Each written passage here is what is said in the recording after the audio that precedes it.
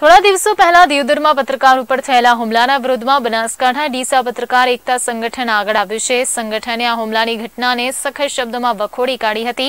સાથે જ આ તમામ હુમલાખોરો અને હુમલો કરાવનારાઓને સખત સજા કરવાની માંગ સાથે નાયબ કલેક્ટર ડીસા અને મામલતદારશ્રીને આવેદનપત્ર આપવામાં આવ્યું હતું. પત્રકાર એકતા સંગઠન પત્રકાર પર થયેલા હુમલાની સખત શબ્દોમાં વખોડે છે. દિયોદરમાં હાઈવે વિસ્તારમાં આવેલ શ્રીજી કોમ્પ્લેક્સના બિનકાયદેસર બાંધકામના અહેવાલો પ્રસિદ્ધ થતાં જ બિલ્ડરોના પેટમાં તેલ રેડાયું હોય તેવો ઘાટ ઘડાયો છે. ત્યારે બિલ્ડરો દ્વારા અસામાજિક તત્વો એટલે કે લુખાઓ પાસે પત્રકાર ઉપર હુમલો કરાવ્યાની ચર્ચાએ ચારે કોડજોડ પકડ્યું છે. ત્યારે બનાસકાંઠામાં અનેક આગેવાનો આ હુમલાનો ભોગ બનનાર પત્રકાર રાજગજ્જરના સમર્થનમાં આવ્યા છે. કારણ કે સત્ય ક્યારેય છુપાતું નથી અને સત્ય સાથે સૌ કોઈ હર હંમેશ હોય છે. મીડિયા એ ચોથી જાગીર છે અને મીડિયા સાચું નહીં બોલે તો ઘણા બધા દુષ્પરિણામો પણ સંભવી શકે છે. મીડિયાએ હંમેશા સત્ય રજૂઆત કરવી જ જોઈએ, પણ હવે પરિસ્થિતિ એવી થઈ છે કે સાચા અહેવાલો રજૂ કરનાર મીડિયા મેન અમુક સ્થાપિત હિતોના ટાર્ગેટ બની રહ્યા છે. ઉપરા ઉપર બનાસકાંઠામાં પત્રકાર ઉપર હુમલાની સતત બીજી ઘટના બની છે. દિવસના અમારા સાથી મિત્ર રાજ ગજ્જર ઉપર હુમલો થયો. એ બહુ દુઃખદ ઘટના છે. પત્રકાર એકતા સંગઠન બનાસકાંઠા અને પત્રકાર એકતા સંગઠન ગુજરાત આ ઘટનાની સખત નિંદા કરે છે અને આ ઘટનાના વિરોધમાં આજે અમે આવેદનપત્ર પણ આપ્યું છે અને આ હુમલાખોરો સામે કાયદેસરની કાર્યવાહી થાય એવી અમારી માગણી છે. ત્યારે દિયોદરમાં આવેલ સૂચિ કોમ્પ્લેક્સની સત્યતાને ઉજાગર કરવા ગયેલા પત્રકાર પર હુમલો કરાવી બિલ્ડરો પોતાનું પાપ છુપાવતા હોય તેવું લાગી રહ્યું છે. આખરે આટલા માળ બાંધવાની પરવાનગી આપી કોણે અને કોણ આવા લોકોને છાવરી રહ્યું છે? સાથે જ કોના ઇશારે કરવામાં આવ્યો આ હુમલો? આવા અનેક સવાલો ઊભા થયા છે.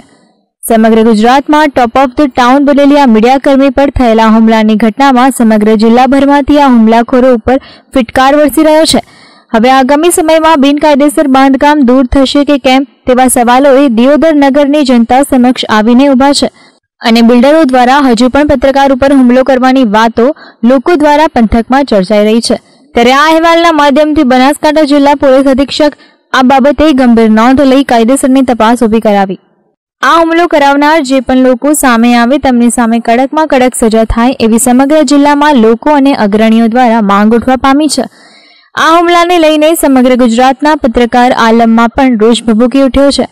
આ હુમલાના વિરોધમાં આજે બનાસકાંઠા ડીસા પત્રકાર એકતા સંગઠન તરફથી લાઈવ ગુજરાતના રિપોર્ટર રાજ ગજ્જરના સમર્થનમાં એક આવેદનપત્ર નાયબ કલેક્ટર શ્રી ડીસા અને મામલતદાર શ્રીને આપવામાં આવ્યું.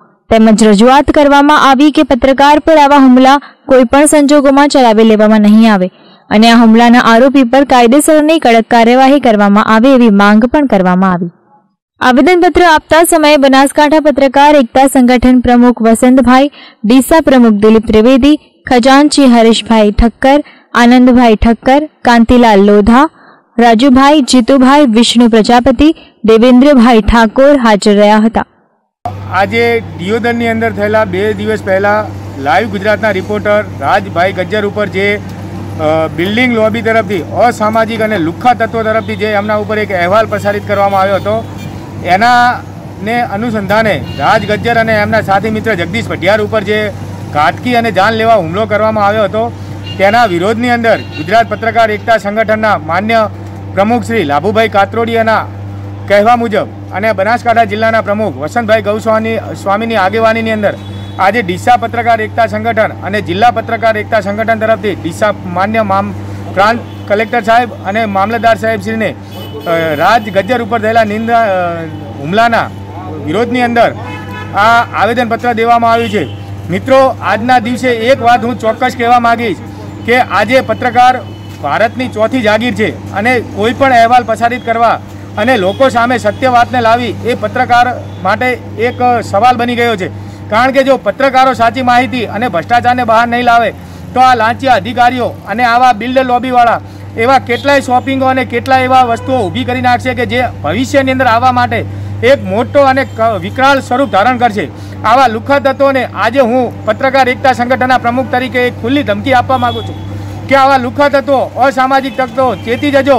પત્રકાર એકતા સંગઠન હવે જાગૃત બન્યું છે. આખા ગુજરાતની અંદર જાગૃત બન્યું છે. અને પત્રકાર ઉપર થયેલા હુમલાને પત્રકાર એકતા સંગઠન થોડું પણ ચલાવી નહીં લઈએ. ચાહે એના માટે કરીને હાઈકોર્ટ કે સુપ્ર- સુપ્રીમ કોર્ટ કે કોઈ પણ અધિકારીના દરવાજા ખખડાવવા પડશે તો પત્રકાર એકતા સંગઠન ખખડાવશે. અને પત્રકારના સાથે કોઈ પણ પત્રકાર હોય, ચાહે સંગઠનમાં જોડાયેલો હોય કે ના જોડાયેલો હોય, પત્રકાર શબ્દ જેની પાછળ પડશે. એ તમામ પત્રકારોને પત્રકાર એકતા સંગઠનનો સંપૂર્ણ સમર્થન રહેશે અને એમના પડખે પત્રકાર એકતા સંગઠન ઊભું રહી અને તેમને ન્યાય અપાવવા માટે હર ઘડી, હર હંમેશ એમની સાથે રહેશે આજે એક છેલ્લે મારી વાતને વિરામ આપતા કહેવા માંગીશ કે, રાજભાઈ, તમે આગળ વધો, અમે તમારી સાથે છીએ. અને આવા અસામાજિક તત્વો, લુખ્ખા તત્વોને તમે ખુલ્લા પાડો. અમે પત્રકાર એકતા સંગઠનના સભ્યો તરીકે તમારી સાથે છીએ અને તમારી સાથે રહીશું. અને ખુલ્લી ધમકી આપી છે કે, લુખ્ખા તત્વો, તમારી તાકાત હોય એટલી તમે અજમાઈ જુઓ.